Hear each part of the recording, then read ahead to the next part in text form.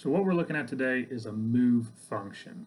Okay, so a couple of different reasons why we would use a move function. One set up here. If we have a timer and we want to record the time at which something happens, we could we could do that with a move function. So we have this timer that's running, and what the move function is going to do is it's going to take anything from the input and put it into the output. So whenever I push this green button, it's going to save that time value that that button was pushed, 14 seconds and 563 milliseconds. And so if I push it again, it's going to save that value. Okay, it's going to keep saving that value every time I push that button. Okay, so it's taking whatever is timer input right here and putting it into the output uh, here. So if there's a reason we want to save a value or, or move a value uh, from an input to an output, that's why we would use the move function. We also see this used a lot for sequencing applications. If we want to have one thing happen uh, before the next and then the next. So what we'll do is we'll set up a quick uh, little sequence uh, where we will have a tank right here. The pump will turn on. The pump will pump material into the tank. That'll be step one. Then the mixer will turn on right here. That'll be step two. And then the valve will open and it'll drain material out. That'll be step three. So we can do that with the move function. We can have three different steps. Okay, so what we'll do is we'll start this off by using the green push button to start everything. Okay, so the green button, that's going to go is that's going to go in and do a move.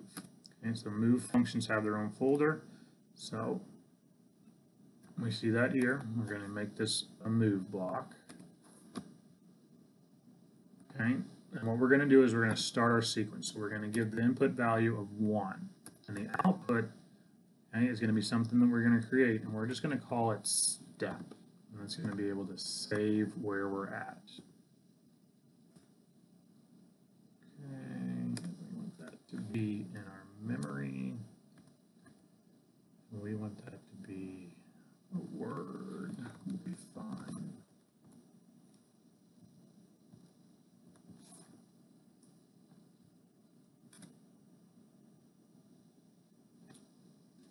Okay, so when we push the button, what's going to happen is this variable step is going to get the value of 1. And then what we want to do is we want to say, all right, what do we want to happen when we're in step 1? And so what we can do with that is we can use our compare, and we can use an equal to compare.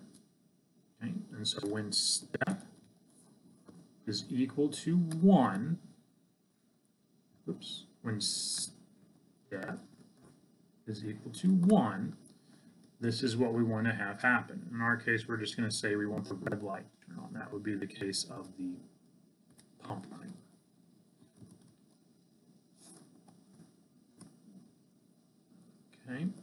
Okay. and so um, once we do that, then what we can do is we can also call out a timer if we wanted to. Okay, timer on delay.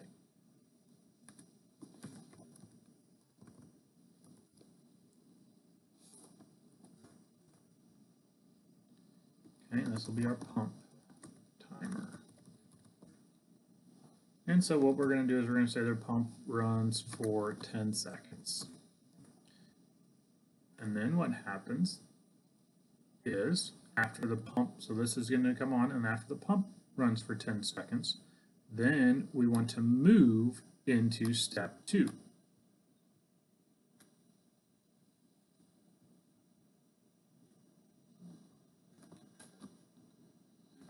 So I'm going to take the number two and put it into step. And then while we are equal to step two,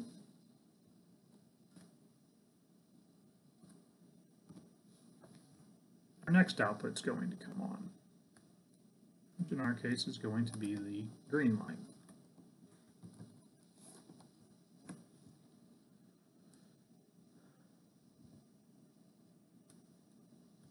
And then also, we're going to have a timer.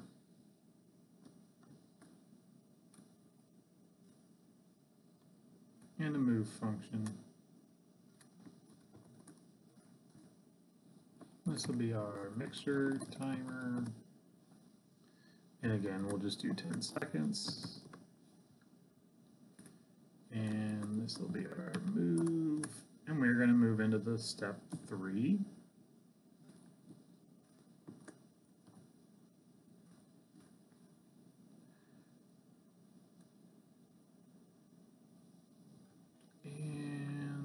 That's going to,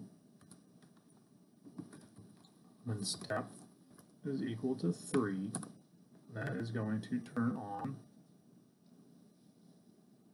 Valve, which would be the yellow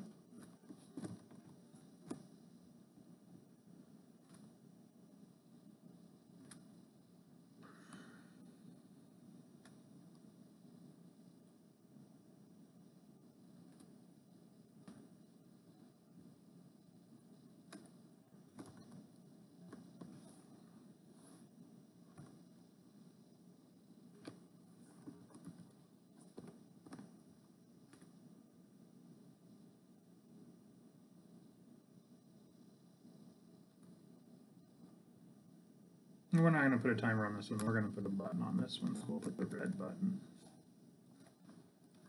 on this one. Then I'll go back to that. And then we'll download this to the PLC.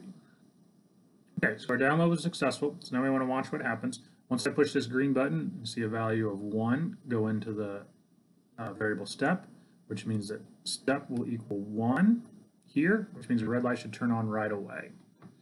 Okay, it does. The red light's on.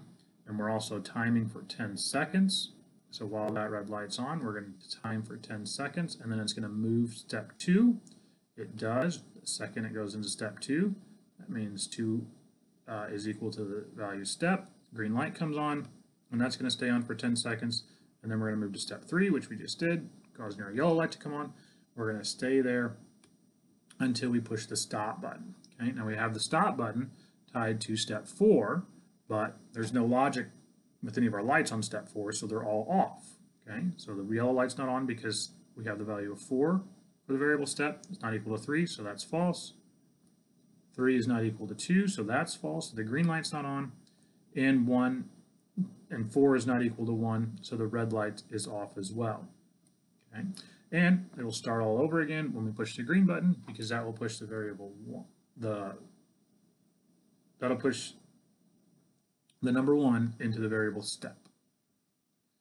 Okay, and then it goes through and 10 seconds for the green light, after the red light, and then the yellow light will come on. And that's another example of why we would use the move function.